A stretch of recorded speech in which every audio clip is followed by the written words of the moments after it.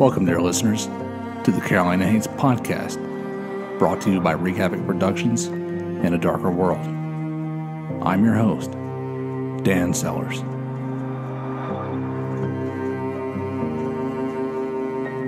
The Mordecai House, built in 1785, is the oldest residence in Raleigh that still stands on its original foundation.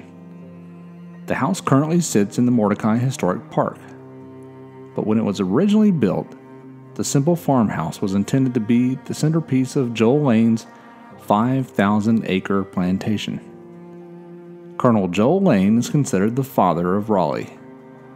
He sold the county the thousand acre lot where the city would be founded. Henry Lane inherited the house from his father, Joel, in 1795.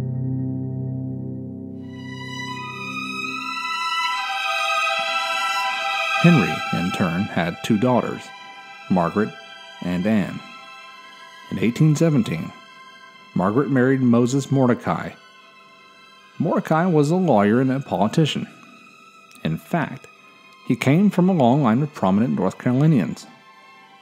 As well as being lawyers and politicians themselves, his ancestors were also educators and activists. And his grandfather was among the first group of Jewish immigrants to settle in America. The two took over the house and had three children of their own.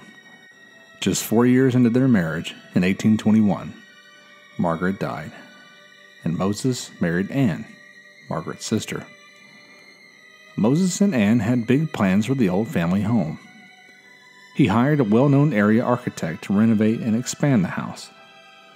William Nichols was the architect of the North Carolina State House, and also the Alabama and Mississippi State Houses.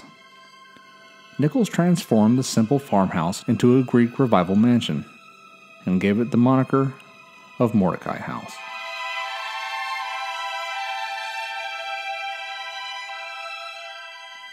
Around this time, Moses also decided to change the pronunciation of his name. He changed it from Mordecai to Mordecai. Joel Lane and Moses Mordecai were both wealthy slave owners, but the Civil War stripped Mordecai of both his slaves and his fortune. Later generations survived by slowly selling off the 5,000 acre property. The family managed to keep control of the house until 1967. A group of developers offered to purchase the property but when the public learned that they planned to raise the house and turn it into a parking lot, concerned citizens pressured the city, and the Raleigh Historic Commission purchased Mordecai House and entered it into the Historic Registry. To recoup their cost, the Historic Commission wanted to open the Mordecai House up for tours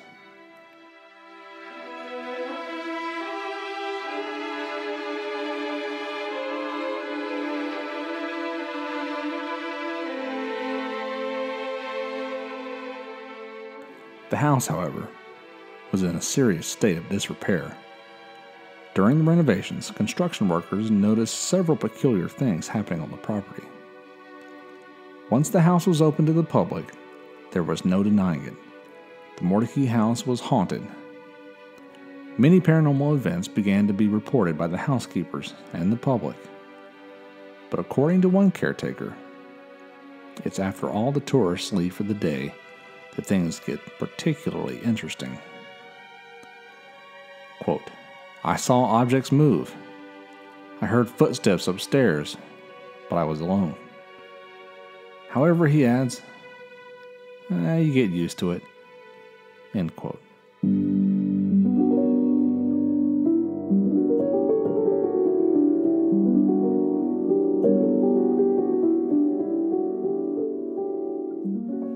Mordecai house is believed to be haunted by at least two women. Some believe that Margaret Lane haunts the house and can be seen walking around wearing a long black skirt and a white blouse. And the ghost of Moses' granddaughter, Mary Willis Mordecai Turk, is also seen in the house. Mary lived from 1858 to 1937. She can sometimes be heard playing the piano and she's occasionally seen as a full body ghost in a gray 19th century dress, but usually witnesses only see a thin, gray mist hovering near the piano. High House in Cary, North Carolina, is only 15 miles from Mordecai House. The fate of High House is very different from that of Mordecai, but its story is no less interesting. In 1760, Tignall Jones bought a house for his son, Fanning. The house dominated the landscape. It was built on a hill at the highest part of the road and was the only two story house in the general area. Soon it became known as the High House.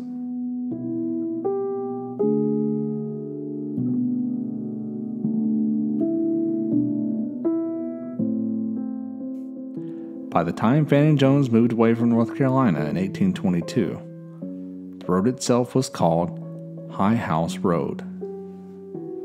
During the time that Fanning Jones occupied the house, High House was the party place of Cary.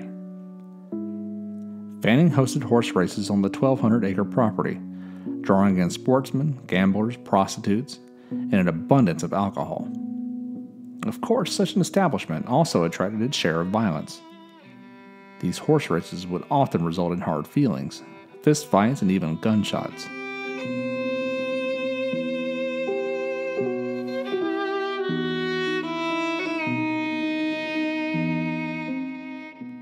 One story tells the tale of two men who were in love with the same girl. One day, while everyone was distracted watching a horse race, one of the men pulled the girl apart from the other spectators and strangled her to death before anyone noticed. And many believe that she is the ghost of High House.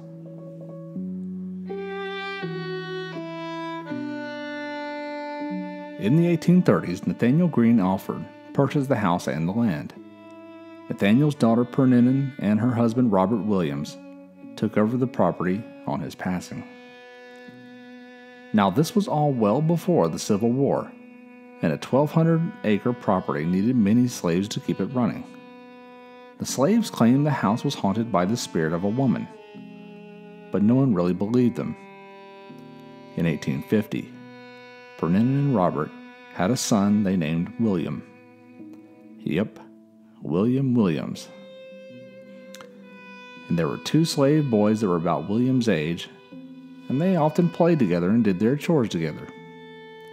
One evening, when little Willie was 11 years old, he was out in the orchard gathering apples with the slave children. His parents were not at home. They were attending an evening church service.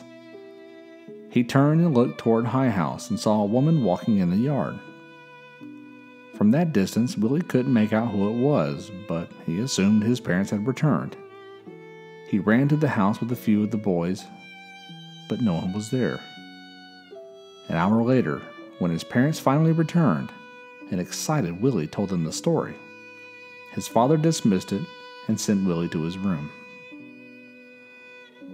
Willie would see the ghost at least two more times before the Civil War. One summer evening, he was playing in the front yard with his slave friends when she appeared just a few feet away.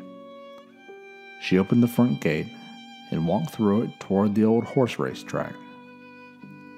Willie ran inside to get his father, but when they got back outside, the other children said that they had just vanished. Now, Robert Williams was a stern man. He had already told Willie that there was no ghost, and he meant that there was no ghost. The next time Willie encountered the ghost, his mother was with him.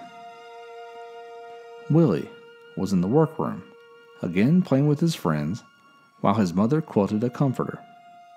Suddenly, they all heard a loud commotion in the room above them. Willie called for some of the adult slaves to investigate, and, of course, nothing was there.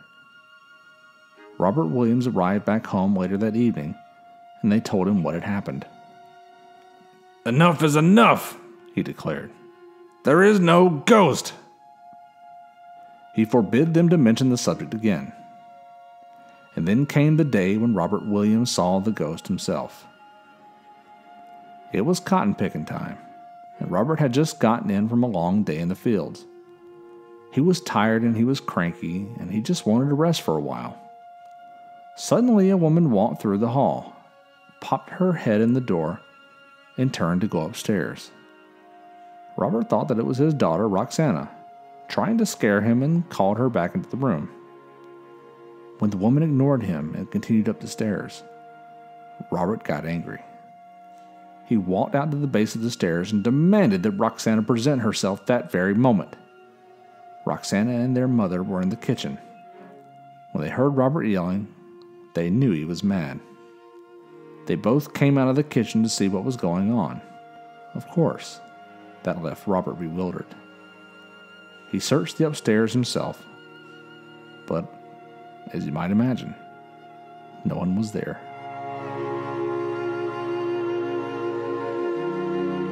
He still would not admit that there was a ghost in the house, but he started to believe that something was going on. Robert died in 1861. A few years later, Willie, or rather, William Williams, married a girl and moved to her hometown of Raleigh. Roxana also married and stayed in the high house with her mother. Toward the turn of the century, William's wife died and he moved back to High House with his four children.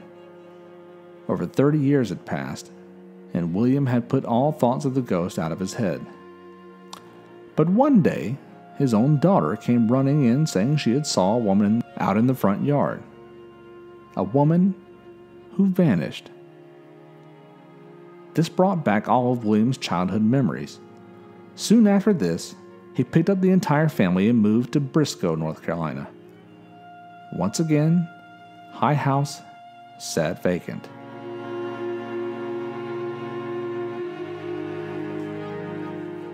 Now, I told you at the beginning of this segment that the fate of High House was very different from that of Mordecai. After Mordecai House sat abandoned, it was finally saved by the city of Raleigh and restored. Such was not the destiny of High House. One night in the early 1900s, Leander Williams, one of Willie's cousins who still lived in Cary, had an odd dream. He had spent a lot of time at the high house as a child, and something in the dream told him that there was a great treasure buried beneath the hearth of the old house.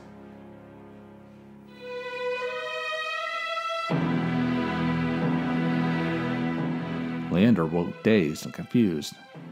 He told his mother about the dream, and she paled. She had had the exact same dream. They immediately rushed to the abandoned house, only to find that someone had beaten them there. The hearth had very recently been torn apart, brick by brick. Leander's mother told her friends about the experience, and word of the treasure of High House quickly spread. By the mid 1900s, the house had been completely demolished by fortune hunters. If anyone ever found a treasure, they never admitted it.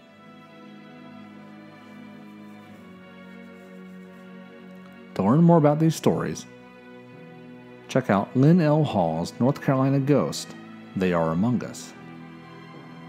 There's also the article The Ghost of High House, an Alford American Family Action publication check out carycitizen.com, northcarolinaghost.com, and candidslice.com.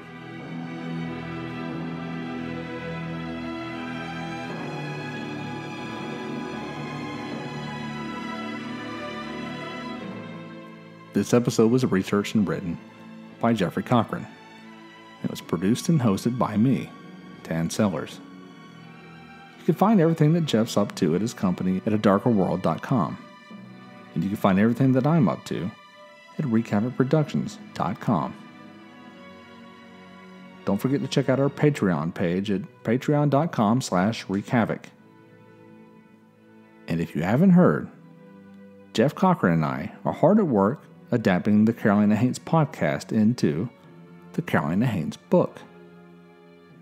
And you can be a part of it check out our campaign at Indiegogo. And while I'm at it, I'd like to thank Josh Garner for his generous contribution. Without your help, this book wouldn't be possible. Thank you so much.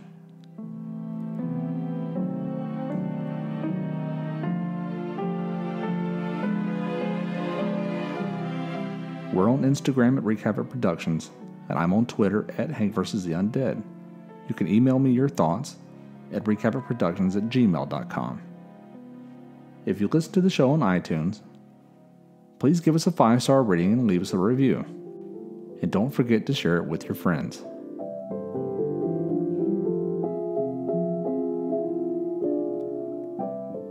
We'll be back in two weeks with a new episode. Tune in then to hear more about the things that go bump in the night.